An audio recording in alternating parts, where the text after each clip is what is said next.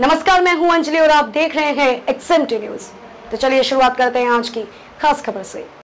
आगरा जिला कांग्रेस कमेटी ने राष्ट्रीय आह्वान पर महानगर अध्यक्ष अजय कुमार चुल्लू के नेतृत्व में भाजपा गद्दी छोड़ो के तहत भ्रष्टाचार विरुद्ध बेरोजगारी और बढ़ते पेट्रोल, डीजल के दामों के विरोध में पैदल मार्च निकाला, जो कि पुरानी मंडी चौराहे से शुरू होकर राजपुर चुंगी तक निकाला गया। जहाँ पर कांग्रेसियों ने महात्मा गांधी द्वारा अंग्रेज़ों को भगाने का आज के ही दिन संकल्प लिया था। कि 9 अगस्त 1982 भारत की आज़ादी की नींव रखी। 9 अगस्त 2021 को भाजपा गद्दी छोड़ो की लड़ाई की कांग्रेस ने शुरुआत कर दी है। और कांग्रेस की स्थापना भी 9 अगस्त उन्नीस सौ बयासी को हुई थी। इसलिए लोग उसको पैदल यात्रा निकालकर भाजपा गद्दी छोड़ो के नारे लगाए। कांग्रेस कमेटी के राष्ट्रीय भवन पर पूरे उत्तर प्रदेश में भाजपा गद्दी छोड़ो की लड़ाई शुरुआत हो चुकी है। देवेंद्र कुमार चिल्लू अध्यक्ष शहर कांग्रेस कमेटी आगरा। आज किस तरह का कार्यक्रम है? आज उत्तर प्रदेश कांग्रेस कमेटी के आह्वान पर 9 अगस्त 1942 को जब इस देश में अंग्रेज़ों की हुकूमत थी महात्मा गांधी जी ने एक नारा दिया था अंग्रेज़ों भारत छोड़ो। आज उसी 9 अगस्त को कांग्रेस पार्टी ने एक नारा दिया है, भाजपा गद्दी छोड़ो। क्योंकि ये भारतीय जनता पार्टी केवल महँगाई बढ़ाने में कामयाब हुई है, भ्रष्टाचार बढ़ाने में कामयाब हुई है, इसके कार्यकाल में लोगों के बीच भाईचारे कम हुए हैं, लोगों को रोज़गार छिने हैं कोरोना काल में लोगों को इलाज नहीं मिला है। तमाम लोग अपनी जान से हाथ धो बैठे।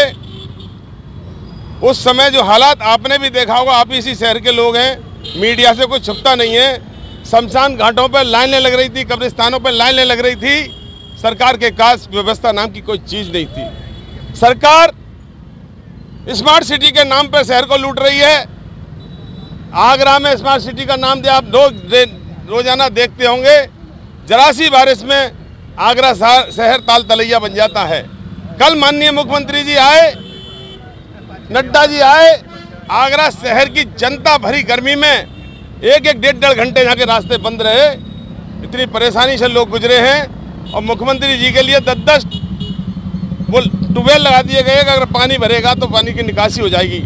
लेकिन जनता के लिए गंदे पानी की निकासी नहीं है, टूटी सड़कें शहर में और लोगों को पीने का पानी तक इस शहर में मुहैया नहीं हो पा रहा है और सरकार कहती है कि हम पूरी तरीके से कामयाब हुए हैं। कामयाबी तो आपने देखी होगी, आगरा शहर के अंदर ऐसे मोहल्ले में चार लोगों की हत्या हुई।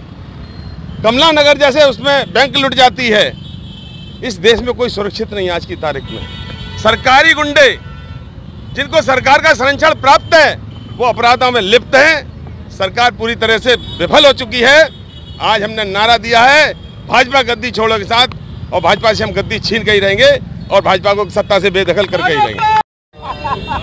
विनोद बंसल चेयरमैन व्यापार प्रकोष्ठ पश्चिमी उत्तर प्रदेश। आगरा के मेयर ने आगरा को नवीन आगरा क्लीन आगरा का नारा दिया लेकिन आज अगर स्थिति देखें तो आगरा की कोई सड़क मैं नहीं समझता कि ठीक होगी। उसके बारे में आपका क्या कहना है? मेरा कहना एक ही है इससे बड़ा क्या दुर्भाग्य होगा? उन, उनके उन, उनके आका आगरे में थे जिस होटल में ठहरे उसके बाहर ही पानी का भरा- भराव था तो उससे ज़्यादा और क्या वर्णन किया जा सकता है?